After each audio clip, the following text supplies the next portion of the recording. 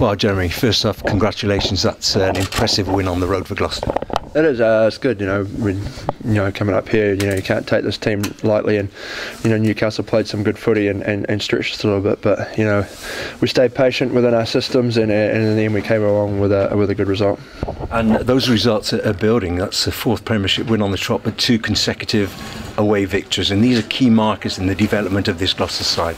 Yeah, it is. You know, it's something we, um, you know, sort of highlighted that we, you know, we can really put a performance out at home, but about trying to, you know, get that mental edge and, and, and perform when we're away from from Kingsholm as well. And, and, you know, it's really pleasing to see, you know, the things that we're, we're talking about and focusing on, um, you know, coming to fruition out there great defensive discipline because you, you take uh, real confidence in your defensive work. Few penalties given away, and that frustrates opposition.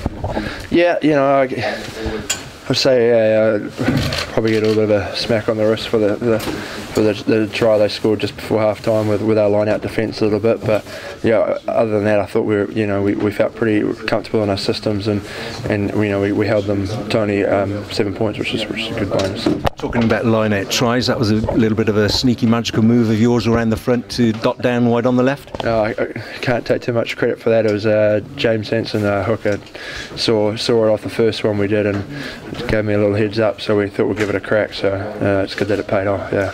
So this is a result that really builds some momentum in this side and looking forward to, to, to the next home fixture.